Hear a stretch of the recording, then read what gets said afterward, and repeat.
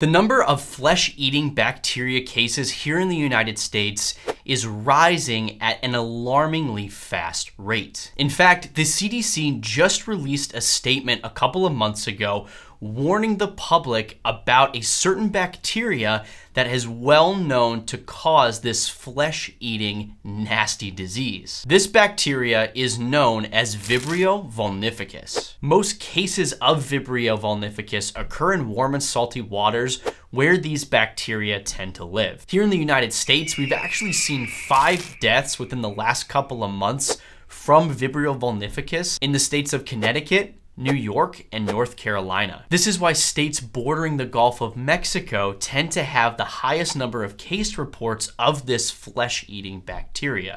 So I wanna give a shout out to you be careful next time you're swimming in one of the beaches on the west coast of Florida. So why is Vibrio vulnificus even important to talk about? Well, of about the 200 or so cases that are reported each year, approximately one in five people end up dying once they get this bacteria. This bacteria can cause a slew of different problems, but it primarily does so in one of two ways either from the inside of your body out or from the outside of your body and then works its way in. So, talking about the inside out first, someone becomes sick after getting these little critters inside their stomach from eating contaminated seafood. In particular, raw oysters tend to be a harbinger of these nasty little bacteria because these oysters contain a large amount of these bacteria based on the food or other things that they eat in the ocean. Because there's a lot of bacteria in the oysters, there's obviously a lot of bacteria that gets into your stomach, and the more bacteria there are at the start, the higher percentage that you have of having worsening infection. So starting from the inside out, an individual may begin with something called gastroenteritis. And I love breaking down medical terms because I really think it helps you understand where we derive and get the fancy medical terms from, especially if you don't have a strong medical background. Gastroenter just means with inside the stomach.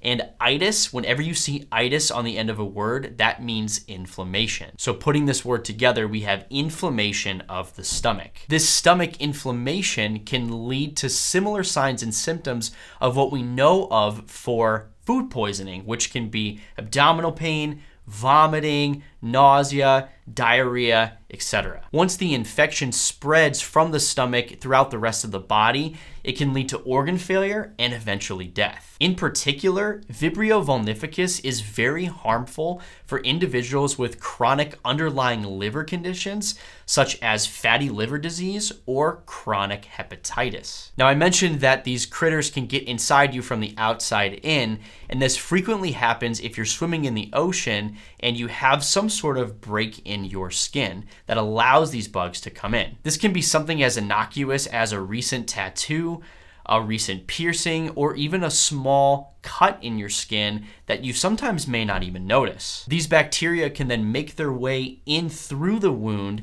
and start spreading into the skin as well as the fascia, leading to something called necrotizing fasciitis, which is the fancy medical term for that classic flesh eating bacteria look that we are all quite familiar with. Again, breaking this medical term down, necrotizing means dying or rotting, and fasciitis is inflammation of the fascial layer, which is the layer in between the skin and the muscle of your body. So putting it together, you have rotting or breakdown of that fascial layer. Once the bacteria make their way in through the wound and into the skin, they start eating away at the skin, the fascia, the blood vessels, the muscles, and they cause necrosis or death and breakdown of all the cells in that area. This can go from a certain localized part in the body and travel systemically throughout the body, leading to sepsis, which is a fancy medical term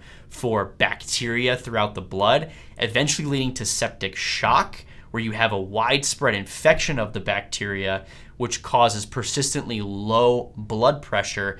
And then again, this can lead to tissue hypoperfusion because these tissues and organs are not getting enough blood supply and oxygen and eventually lead to death. However, even if you do survive the necrotizing fasciitis at its initial stage, it might cause so much damage that you may even have to have a limb amputation. This is why it's really important to recognize the signs and symptoms, and it's what makes necrotizing fasciitis a medical emergency. Once you recognize these symptoms, you must go to the emergency department and get admitted to the hospital in order to get strong IV antibiotics immediately in order to reduce the probability of the infection getting worse. So some recommendations in order to try to avoid this nasty flesh-eating bacteria. The only thing that you can really do in order to totally prevent the infection is to avoid the bacteria at all times, which obviously isn't quite feasible. The first line of defense with any infection is